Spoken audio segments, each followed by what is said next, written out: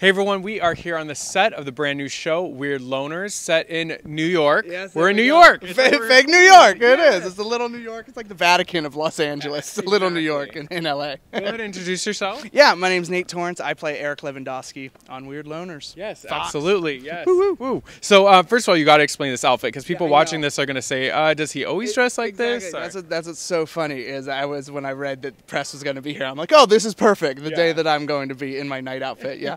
so um yeah. So in this episode, we um I play in a human chess league, Okay. and so I'm a knight in the human chess league in Flushing Meadow Park. So so yeah. So that is me. And um as as the story goes on, uh, I find out that a rook opening is, is is available, and so I'm trying to get that upgrade from being a knight Yeah. to a rook because a rook can travel the full length of the board. Yes, that's that's Eric's dream in life. Eric's That's dream. it. That's it. Not marriage, nothing. Just become a rook. yes, I mean you set those goals pretty low, and then you always fulfill them. I think that's how we should all kind of approach life. Just keep the bar low. So tell us about Eric. Uh, he's one of the main characters. I know you guys are all kind of like getting to know each other in New York. So tell me a little bit about his role and what he's. know, doing. it's kind of cool. In the pilot, the first time you meet Eric, his dad actually passes away, which is kind of like this sad moment.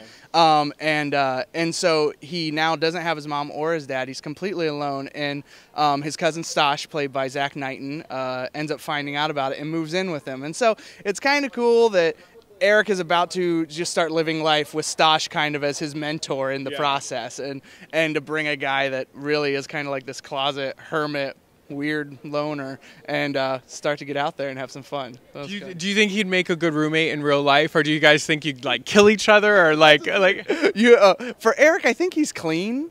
and you're not. So you're he's bizarre. Like Eric is a little bizarre, and and Stosh is a Stosh Zach's character is a horrible roommate. Like Yeah. he's just a horrible person, and that's what's nice. We get to see a little payoff as as the series continues on that. But What do you th- What do you think is going to be the buy? Like, why do you think people have to watch this? It- let's say you weren't in it, but you were just watching the filming today. What about the show? You're like, dude, this is a great. Yeah, you know, it, that's what's kind of cool about it. I think we're tapping into something that is happening a lot right now, which is just everyone feeling a little lonely in life. I think that with social media and all of that, where we've kind of stopped having relationships maybe like with people Yeah. and so i think that's what makes it kind of relatable that you're taking these four people that just are socially inept they do not know how to make friends and you're putting and they're kind of forced to make friends but what makes them friends is that they're not good friends and that's They're what that's just- yeah, yeah and I think that there is, although everyone maybe not lives to those extremes, there's something really interesting about it, and I think that everyone can relate to it a little bit.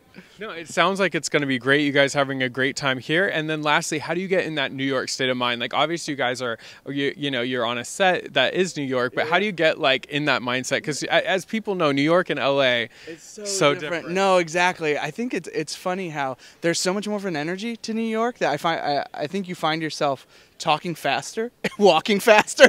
I mean, those are the little things that literally we kind of like you play around, and they're great at like filling the sets. Like we have we ha- we always have tons of extras, which is kind of cool is how they play it. But um, but yeah, it's been good. Feels real. Well, we can't wait to watch it. Make sure uh, as soon as it comes out on Fox, you're watching Weird Loner starring this guy and go. see his character Eric. And uh, now you can steal this and wear it for Halloween tomorrow. I'm off exactly. I'm off to Nightdom to, Yeah. to spread the love. Well, thank you so much. Make sure you're watching that show on Fox. Awesome. See ya.